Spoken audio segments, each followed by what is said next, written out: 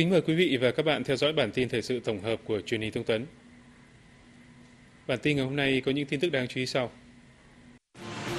Ngày 27 tháng 6 tại trụ sở Văn phòng Quốc hội, đồng chí Tòng Thị Phóng, Ủy viên Bộ Chính trị, Phó Chủ tịch Quốc hội đã tiếp thân mật đoàn đại biểu người có công với cách mạng tỉnh Quảng Ngãi. Sáng 27 tháng 6, ông Bùi Tiến Dũng, nguyên tổng giám đốc Ban quản lý dự án 18, gọi tắt là PMU 18, tiếp tục phải hầu tòa tại Tòa án nhân dân thành phố Hà Nội với cáo buộc tham mô tài sản trong dự án cầu bãi cháy. Cùng hầu tòa với ông Dũng về hành vi tham mô trong lần xét xử này có 8 bị cáo khác. Dịp hè những năm gần đây, sự xuất hiện của một loại hình trại hè rèn luyện kỹ năng sống cho các em nhỏ cùng nhiều hoạt động phong phú đã tạo ra sức hút đối với các em nhỏ vốn hiếu động. Tuy nhiên, mức phí khá cao vẫn chưa thu hút được các em nhỏ ở nhiều gia đình có mức sống trung bình ngày nay 27 tháng 6, tòa án xét xử tội ác Khmer Đỏ đã mở phiên xét xử sơ bộ đầu tiên đối với bốn cựu thủ lĩnh cấp cao của chế độ Khmer Đỏ, cầm quyền ở Campuchia từ năm 1975 đến năm 1979. Ngày 27 tháng 6, Thủ tướng Trung Quốc Ôn Gia Bảo lần đầu tiên thừa nhận Bắc Kinh khó lòng đạt mục tiêu duy trì lạm phát dưới mức 4% trong năm 2011 và buộc phải tiếp tục các biện pháp thắt chặt tiền tệ. Hiện tại, ưu tiên hàng đầu của nền kinh tế thứ hai thế giới là chặn đà leo thang của giá cả, đồng thời vẫn duy trì tốc độ tăng trưởng cao trên dưới 8 đến 9%.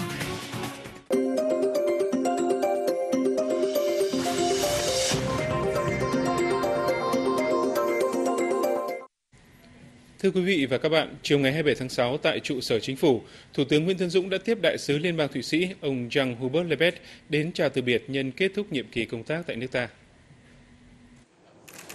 Thủ tướng Nguyễn Tấn Dũng bày tỏ vui mừng trước mối quan hệ Việt Nam Thụy Sĩ đang phát triển tốt đẹp trên các lĩnh vực, mang lại lợi ích thiết thực cho cả hai bên. Hiện Thụy Sĩ là bạn hàng lớn thứ hai của Việt Nam tại châu Âu với kim ngạch thương mại song phương đạt trên 2,6 tỷ đô la Mỹ và nhiều nhà đầu tư Thụy Sĩ đầu tư thành công tại Việt Nam. Trong kết quả chung đó, thay mặt chính phủ, Thủ tướng Nguyễn Tấn Dũng đánh giá cao vai trò của đại sứ Jean Hubert Leibert trong nhiệm kỳ qua, đưa quan hệ hai nước lên tầm cao mới thiết thực và hiệu quả.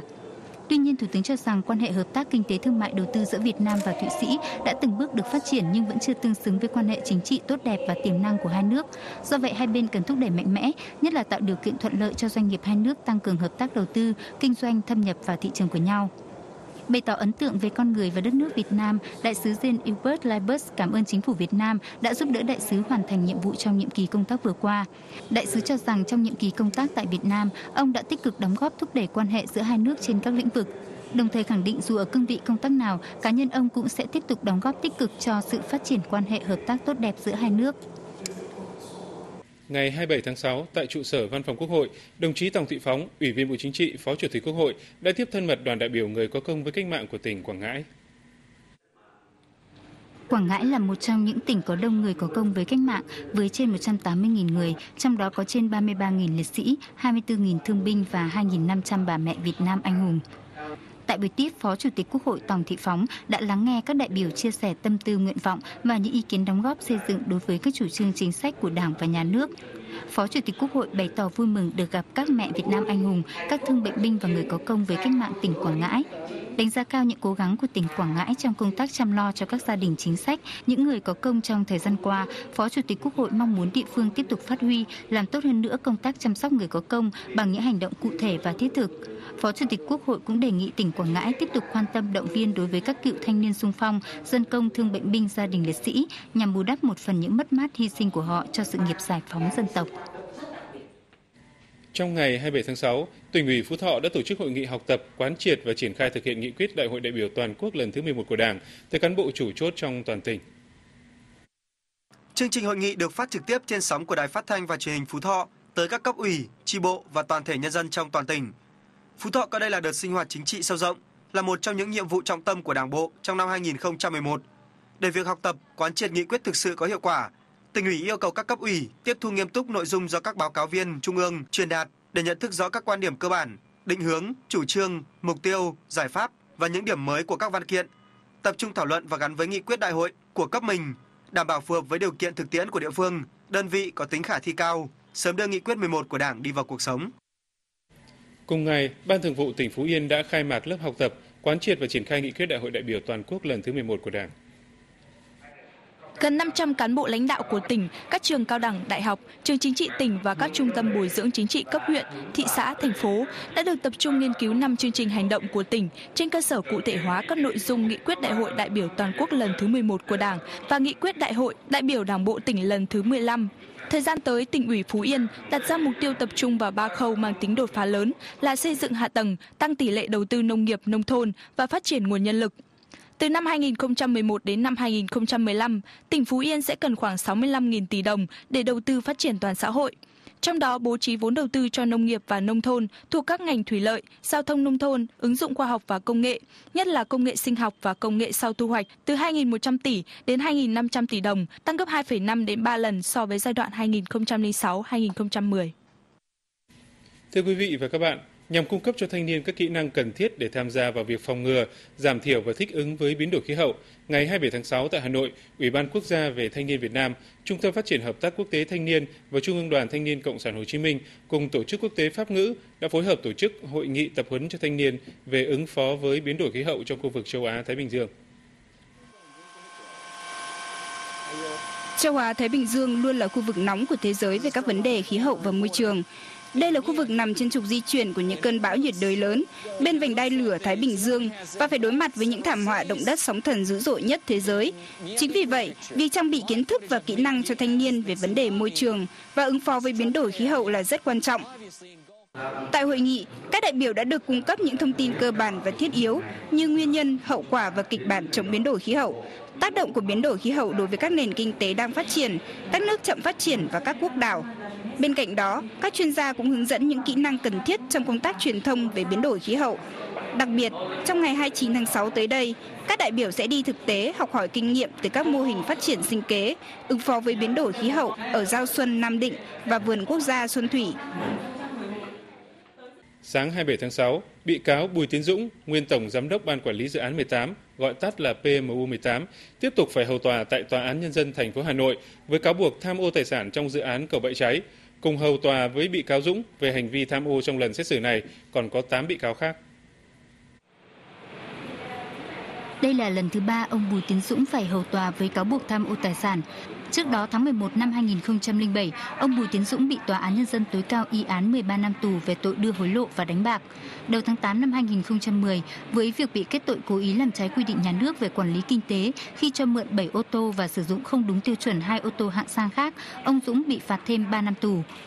8 bị cáo cùng hầu tòa với nguyên tổng giám đốc PMU 18 lần này bị truy tố về tội tham ô tài sản gồm Nguyễn Vũ Nam, Nguyễn Công Dũng, Nghiêm Phú Sơn, Lê Minh Giang, Nguyễn Hữu Minh, Nguyễn Hữu Long, Trần Đức Hùng. Riêng bị cáo thứ 9 là ông Đỗ Kim Quý, nguyên phó tổng giám đốc PMU 18, bị truy tố về tội tiêu thụ tài sản do người khác phạm tội mà có. Theo cáo trạng của Viện Kiểm sát Nhân dân tối cao, dự án cầu bãi cháy được Thủ tướng Chính phủ phê duyệt tổng mức đầu tư gần 1.380 tỷ đồng. Ban quản lý các dự án 18 được giao quản lý và thi công dự án. Bùi Tiến Dũng, nguyên Tổng Giám đốc BMU 18, đại diện chủ đầu tư dự án đã đồng tình cho Phạm Tiến Dũng, người đã chết, và đồng bọn lập danh sách nhân viên tư vấn bổ sung khống để rút tiền của nhà nước. Trong số tiền lương khống được duyệt, ông Bùi Tiến Dũng trực tiếp ký duyệt hơn 2,7 tỷ đồng lương, tạo điều kiện cho nhóm của Phạm Tiến Dũng chiếm hưởng gần 1,6 tỷ đồng. Trong buổi sáng 27 tháng 6, Bộ Giao thông Vận tải với tư cách là nguyên đơn đã vắng mặt, tuy nhiên hội đồng xét xử vẫn tiếp tục xét xử. Dự kiến phiên tòa sẽ kéo dài trong 10 ngày. Ngày 27 tháng 6 tại Hà Nội, Bộ Kế hoạch và Đầu tư đã tổ chức hội thảo về mua sắm chính phủ trong Hiệp định Đối tác Kinh tế Chiến lược Xuyên Thái Bình Dương, gọi tắt là TPP. Tại hội thảo, bà Jean Greer, chuyên gia cao cấp của Văn phòng đại diện Thương mại Hoa Kỳ, đã trình bày tổng quan về chương trình mua sắm chính phủ trong Hiệp định TPP. Các nghĩa vụ được quy định nhằm mục đích đảm bảo hoạt động đấu thầu được tiến hành theo các thủ tục minh bạch, có thể dự báo trước và công bằng. Đó là công bố thông tin về các phương pháp đấu thầu, công bố thông báo về dự kiến đấu thầu, bao gồm mô tả nội dung đấu thầu, thời hạn giao hàng hóa hoặc thực hiện dịch vụ được đấu thầu. Lợi ích của việc tham gia hiệp định đối với các nước đang phát triển nói chung và Việt Nam nói riêng là rất lớn. Tuy nhiên, theo đại diện Cục Quản lý Đấu thầu, Bộ Kế hoạch Đầu tư, Việt Nam cần tích cực nghiên cứu tìm hiểu các quy định quốc tế hơn nữa. Hiện nay, hệ thống pháp lý về đấu thầu của Việt Nam, cụ thể là luật đấu thầu, có hiệu lực từ ngày 1 tháng 4 năm 2009, cũng được áp dụng cho việc mua sắm công tại Việt Nam. Song những quy định về đấu thầu của Việt Nam còn quá mới mẻ, dù đã được hình thành hơn 10 năm qua so với hệ thống đấu thầu đã có từ hàng trăm năm nay ở các nước đang phát triển. Ngày 27 tháng 6, tại khu công nghiệp phía đông, khu kinh tế Dung Quất thuộc huyện Bình Sơn, tỉnh Quảng Ngãi, Tổng công ty dầu Việt Nam gọi tắt là PVOI đã tổ chức lễ khởi công xây dựng khu bồn chứa và trạm xuất xăng dầu Quảng Ngãi, đồng thời tổ chức lễ ra mắt công ty cổ phần xăng dầu dầu khí miền Trung, gọi tắt là PVOI miền Trung. Khu bồn chứa và trạm xuất xăng dầu Quảng Ngãi được đầu tư xây dựng mới 7.200 m khối bồn bể với tổng mức đầu tư gần 155 tỷ đồng. Dự kiến công trình sẽ được hoàn thành, bàn giao và đưa vào sử dụng đầu quý 1 năm 2012. Khu bồn chứa và trạm xuất xăng dầu Quảng Ngãi được xây dựng tại khu kinh tế Dung Quất, tâm điểm của hệ thống giao thông tại khu vực miền Nam Trung Bộ nên rất thuận lợi cho việc kinh doanh nội địa. Đây là công trình cụ thể đối với các kho hạ nguồn của PVOI theo quy hoạch của Thủ tướng Chính phủ. Sau lễ khởi công xây dựng khu bồn chứa và trạm xuất xăng dầu, PVOI cũng đã tổ chức lễ ra mắt công ty cổ phần xăng dầu dầu khí miền Trung theo chủ trương đổi mới và phát triển kinh doanh để nâng cao hiệu quả và sức cạnh tranh cho doanh nghiệp của tập đoàn dầu khí Việt Nam. Thưa quý vị và các bạn, dịp hè những năm gần đây, sự xuất hiện của một loại hình chạy hè rèn luyện kỹ năng sống cho các em nhỏ cùng nhiều hoạt động phong phú đã tạo ra sức hút đối với các em nhỏ vốn hiếu động. Tuy nhiên thì mức phí khá cao vẫn chưa thu hút được các em nhỏ ở nhiều gia đình có mức sống trung bình tham gia.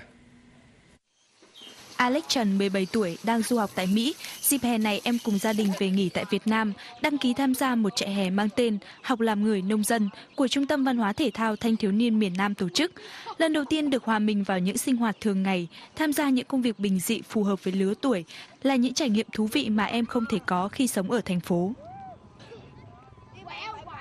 Có sự khác biệt rất lớn về làm nông ở Việt Nam và Mỹ. Ở đây có nhiều không gian mở và những kỹ năng cách thức làm nông riêng biệt. Đây là lần đầu tiên tôi đến thăm một nông trại ở Việt Nam và học được rất nhiều điều ở đây. Được sống trong khung cảnh thanh bình, tự tay làm những công việc thường nhật của người nông dân như cây lúa, tắm heo, bắt cá, các em nhỏ hiểu hơn sự vất vả của người nông dân, từ đó biết quý trọng lao động và yêu thương mọi người hơn. Sống ở vùng miền quê này em thấy uh, uh, những người nông dân làm trồng lúa, chăn nuôi rất là cực khổ. Em tới đây em trải nghiệm thì rất là vui, rất là thú vị. Trải nghiệm được uh, nỗi khổ của người nông của người nông dân khi cày ruộng và vất vả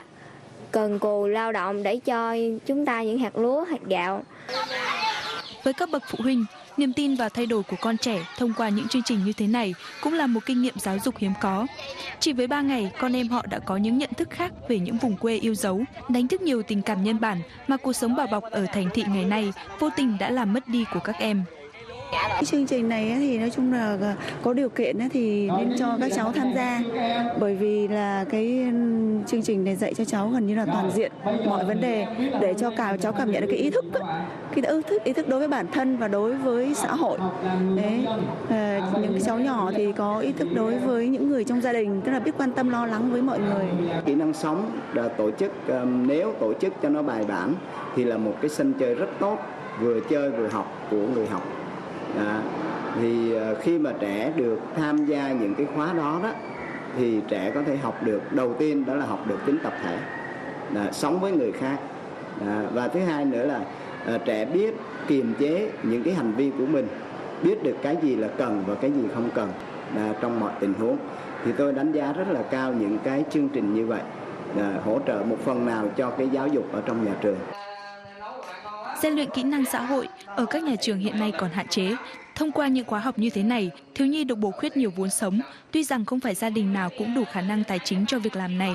Việc nhân rộng các mô hình vui chơi kết hợp với học tập của trẻ em vào mỗi dịp hè sao cho phù hợp với nhiều đối tượng là vấn đề được quan tâm đúng mức từ cả gia đình và xã hội.